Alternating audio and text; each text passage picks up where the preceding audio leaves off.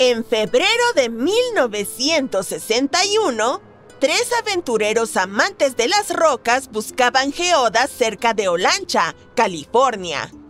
Llevaron uno de sus hallazgos a casa y lo estudiaron porque lucía bastante extraño. Lograron cortar a través de la matriz y descubrieron algo inesperado en su interior. En lugar de las formaciones minerales habituales, había dentro un objeto cilíndrico que parecía porcelana. Alrededor de este eje había una funda hexagonal hecha de cobre y alguna sustancia no identificada. Los descubridores esperaban haber encontrado un ejemplo de alguna tecnología desconocida de hace 500.000 años podría ser la prueba de que existió una civilización antigua hiperavanzada como la Atlántida, o que el viaje en el tiempo era real. Quizás alguien vino desde el futuro y dejó caer el objeto por accidente. O tal vez algunos seres extraterrestres inteligentes lo trajeron al visitar la Tierra. Si cualquiera de estas teorías fuera cierta, significaría que los científicos tendrían que reescribir toda la historia humana. Pero no todos compartían el entusiasmo, y los buscadores de la verdad y los círculos de arqueología alternativa intentaron resolver el misterio del llamado artefacto de Coso hasta finales de los 90 con teorías y debates.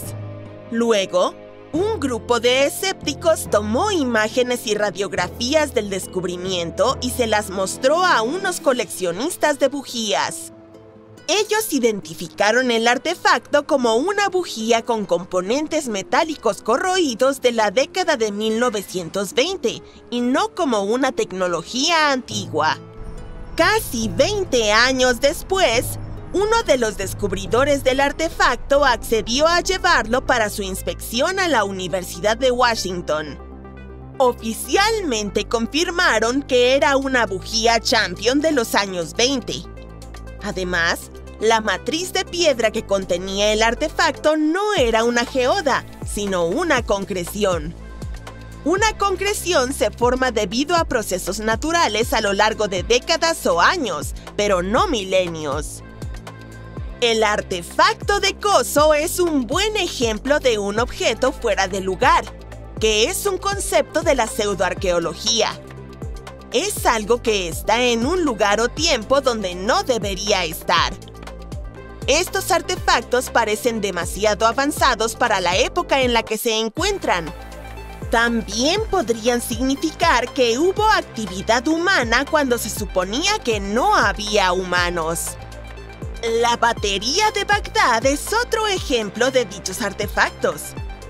Fue encontrada en la década de los 30 por un arqueólogo alemán y consta de un jarrón de arcilla, un cilindro de cobre y una varilla de hierro que atraviesa el tapón del jarrón. Su parte superior, que estaba rota, probablemente fue sellada con asfalto. Su descubridor notó que tenía dos metales diferentes y posiblemente un electrolito, que son los componentes clave de una batería. No hay escrituras antiguas que respalden esta teoría, pero cuando los científicos realizaron pruebas y la llenaron con una solución iónica como vinagre o vino, mostraron que podía conducir electricidad si realmente fuera una batería de hace 2000 años, podría haberse utilizado en prácticas médicas antiguas o incluso podría haber sido incrustada en estatuas para hacer parecer que estaban zumbando e impresionar a las personas. Koenig, quien la encontró, creía que se utilizaba para el galvanizado, un proceso para recubrir metales. Aunque se hubiera usado como batería, el artefacto de Bagdad solo podría producir una pequeña cantidad de energía, alrededor de un voltio de electricidad. Por ello, algunos creen que se utilizaba como contenedor para almacenar pergaminos sagrados. En la década de los 30, una pareja tropezó con algo extraño mientras caminaban junto a Red Creek, en Texas. Era un trozo de madera que sobresalía de lo que parecía ser una formación rocosa antigua. Alrededor de una década después, su hijo, quien tenía mucha curiosidad por descubrir el secreto, decidió romper la roca y encontró un martillo sorprendentemente moderno en su interior. Este descubrimiento captó la atención de Carl Paul, un creacionista de la Tierra joven, quien afirmó que la roca que rodeaba el martillo data del periodo Cretácico. Lo consideró como una evidencia en contra de la teoría de la evolución. Tras algunas investigaciones, los científicos demostraron que la roca no era tan antigua como parecía. Con el paso del tiempo, los procesos geológicos habían encerrado el martillo moderno.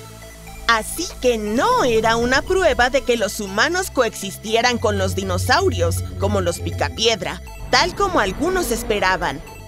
Era solo un caso de un minero que dejó caer su martillo hace siglos y la naturaleza hizo el resto. Un arqueólogo chino supuestamente encontró unas cuevas que parecían servir como cementerio para pequeñas criaturas con grandes cabezas ovaladas. Junto a estos restos había arte rupestre que mostraba figuras con cascos redondos, el sol, la luna, la tierra y las estrellas, conectadas por grupos de puntos del tamaño de guisantes. También encontraron más de 700 discos de piedra misteriosos grabados con surcos en espiral. Las cosas se volvieron aún más extrañas cuando estos discos fueron enviados a un profesor chino, quien afirmó que las ranuras eran en realidad caracteres escritos.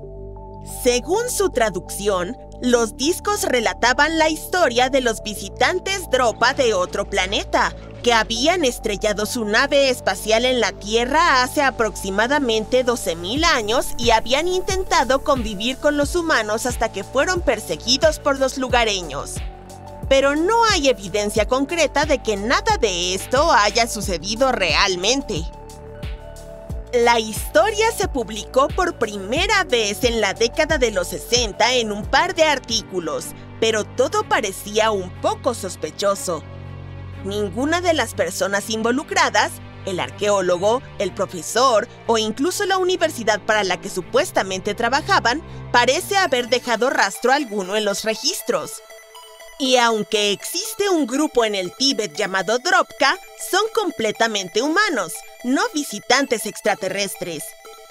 Tampoco hay pruebas sólidas de que las piedras Dropa existan realmente. En una parte remota de China, existen unas formaciones extrañas en forma de tubos conocidas como las tuberías Baigong. Un explorador las descubrió en 1996 saliendo del monte Baigong y a lo largo de las orillas del cercano lago Tozon. Algunas personas pensaron que eran obra de visitantes antiguos de otros planetas. Cuando se analizaron las muestras del material de las tuberías, se encontró que contenían principalmente minerales comunes, pero había un misterioso 8% de material desconocido.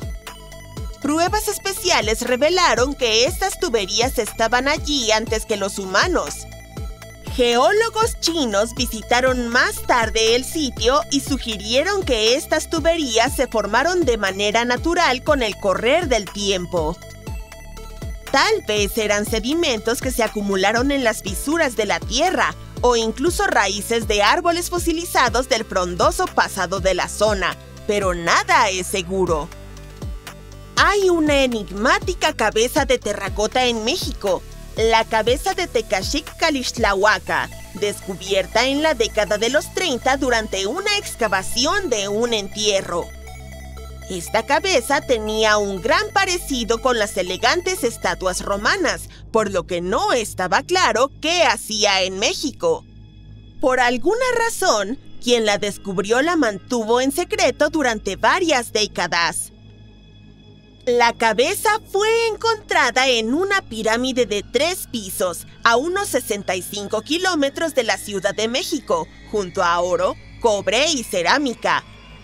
Algunos argumentan que si esta cabeza es realmente de muchos siglos atrás, podría significar que los romanos u otra civilización llegaron a Mesoamérica antes que Colón.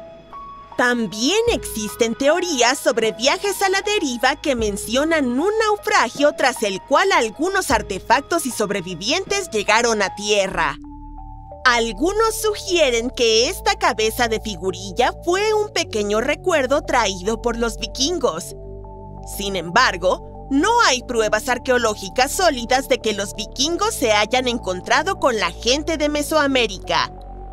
Hay algunos artefactos por allí, pero ninguno ha sido marcado como evidencia indiscutible de contacto precolombino. Por lo tanto, el misterio de cómo esta cabeza terminó en ese sitio sigue sin resolverse. Mientras excavaban una zanja a lo largo de un río de Rumania, unos trabajadores encontraron una cuña, que ahora es conocida como la cuña de aluminio de Ayud o el objeto de Ayud. Justo al lado había huesos de mastodonte, esos parientes lejanos de los elefantes vivieron hace 11.000 años, por lo que probablemente la cuña tenga la misma edad. La parte interesante es que está hecha de aluminio, un metal que no se descubrió hasta el siglo XIX. Este material requiere un calor intenso para utilizarse, la cuña también está cubierta por una gruesa capa de óxido que ha estado ahí durante cientos de años. Ciertas personas creen que esta cuña debe haber aterrizado aquí en una nave espacial de algún otro planeta. Algunos científicos piensan que todo es un engaño, mientras que otros suponen que podría ser un objeto hecho por humanos con un propósito desconocido.